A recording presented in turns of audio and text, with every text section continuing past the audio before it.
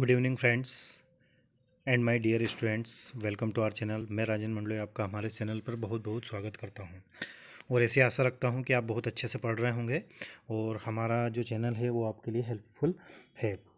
कि आपकी मदद कर रहा होगा। तो जैसा कि आप सभी जानते हैं कि हम संविधा शिक्षक वर्ग तीन की तैयारी कर रहे हैं, जिसमें हम हिंदी, इंग्लिश को कवर कर रहे हैं, जिनकी हमने प्लेलिस्ट अलग से बना दी है। डेली वीडियो आपके पास पहुँच रहे हैं। दूसरा, अभी जो कक्षा नवी से लगाकर कक्षा बारहवीं तक की एग्ज़ाम चल रही है। तो उसके लिए भी हम डेली वीडियो अपलोड करा रहे हैं और हर पेपर को एनालिसिस कर रहे हैं। तो अपने फ्रेंड्स रिलेटिव्स कलीग्स जो भी आपके कांटेक्ट में हैं, सभी के पास हमारे इस चैनल को शेयर ज़रूर कीजिएगा ताकि उनको भी फ़ायदा हो सके।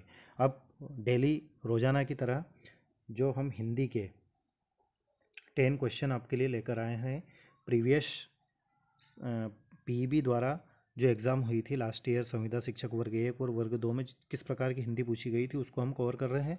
तो आज हमने टॉपिक लिया है, जो ग्रेड फ़र्स्ट मीन्स वर्ग एक में उर्दू का पेपर हुआ था लास्ट ईयर उसमें दस नंबर की हिंदी पूछी गई थी। तो ये ग्यारह फरवरी के दिन पेपर हुआ था, ग्यारह फरवरी दो हज़ार उन्नीस को दोपहर वाली शिफ्ट में। तो देखते हैं इसमें किस प्रकार की हिंदी पूछी गई थी, इन क्वेश्चंस को आप नोट भी करते जाइएगा।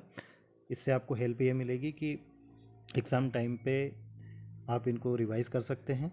दूसरा ये है कि पीबी क्वेश्चंस को रिपीट भी करता है है ना?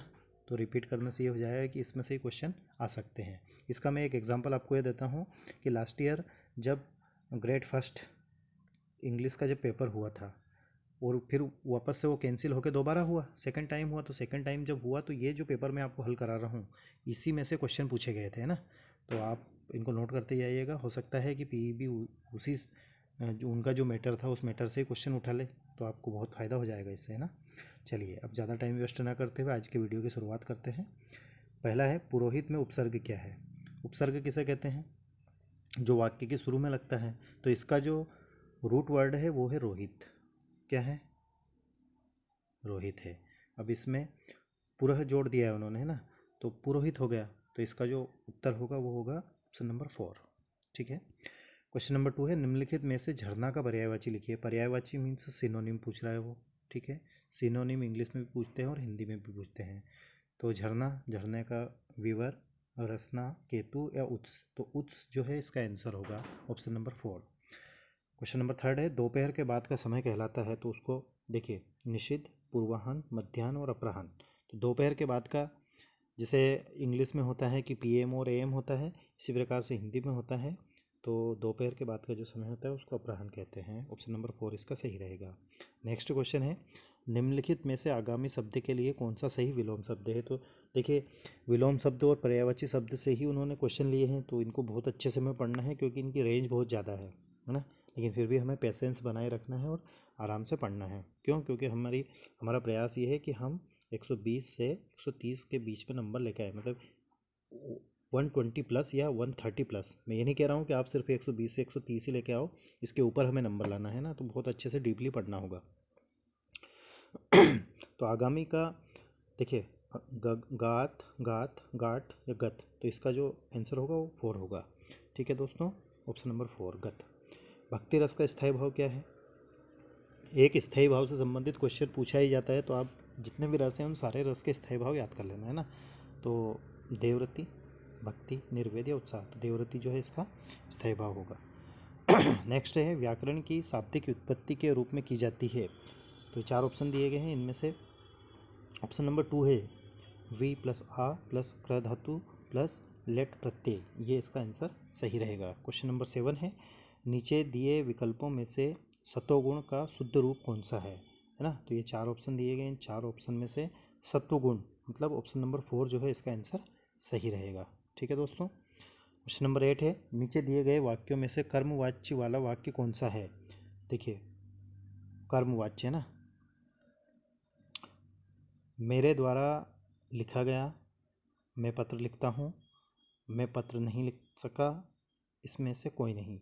तो पत्र मेरे द्वारा लिखा गया। अब कर्मवाच्य क्या है? जिसमें ऑब्जेक्ट मेन हो मीन्स ऑब्जेक्ट वर्ब और सब्जेक्ट ये फार्मूला हो मीन्स इसको हम कहते हैं पेसी वॉइस सेंटेंस। ठीक है तो पेसी वॉइस को कहते हैं कर्मवाच्य। हम इंग्लिश में भी हम पढ़ते हैं एक्टिव वॉइस पेसी वॉइस। तो पेसिव वॉइस में क्या रहता है कि ऑब्जेक्ट, सब्जेक्ट का कार्य करती है तो क्या है? पत्र मेरे द्वारा लिखा गया तो ऑप्शन नंबर फ़र्स्ट इसका सही रहेगा। नाइन्थ क्वेश्चन है, तीन बेर खा, खाती थी वो, तीन बेर खाती है, में कौन सा अलंकार है? श्लेष यमक माफ़ कीजिए श्लेष रूपक, यमक और अनुप्रास। तो इसमें यमक अलंकार है ना? क्वेश्चन नंबर दस है। आज के वीडियो का लास्ट क्वेश्चन है। अगर मगर करना इस मुहावरे का अर्थ निम्नलिखित विकल्पों में से कौन सा है? तो बहाने बनाना, बुद्धि नष्ट हो जाना, मनोकामना पूर्ण होना, चले जाना। तो ऑप्शन नंबर फ़र्स्ट जो है, इसका सही आंसर रहेगा। अगर मगर करना मतलब बहाने बनाना। तो हमें अगर मगर नहीं करना है और हमें खूब अच्छे से पढ़ाई करना है। ठीक है? अपना ध्यान रखिए, अच्छे से पढ़ाई कीजिए। किसी प्रकार का कोई डाउट हो, कोई क्यूरी हो तो आप कमेंट्स करके बता सकते हैं। ठीक है, और ऐसे ही हम वीडियो आपके लिए कंटिन्यू करेंगे। और अभी एक दो दिन या चार दिन बाद मतलब यूँ मान लीजिए कि मार्च के फ़र्स्ट वीक से हम आपके क्वेश्चन बढ़ा देंगे, है ना? और वो जो पैराग्राफ वाला आता है, जैसे कि एक पैराग्राफ दिया जाएगा, और उस पैराग्राफ को पढ़कर नीचे दिए गए प्रश्नों के उत्तर हमें ढूंढना है तो वो भी हम आपको स्टार्ट करवाएँगे, है ना? क्योंकि जो तीस नंबर की हिंदी आएगी, उस तीस नंबर की हिंदी में इसी प्रकार से वो एक पैराग्राफ देंगे और उस पैराग्राफ को पढ़कर नीचे दिए गए प्रश्नों के उत्तर देना है। तो वो अभी हम स्टार्ट करेंगे ना? और उसमें तीस नंबर के ही क्वेश्चन हु बहू जिस प्रकार पी बी क्वेश्चन या पेपर बनाता है, वैसा ही हम आपके लिए लेकर आएँगे, है ना? तो डोंट वरी, अपना ध्यान रखिए, अच्छे से पढ़ाई कीजिए और थैंक यू फॉर वॉचिंग।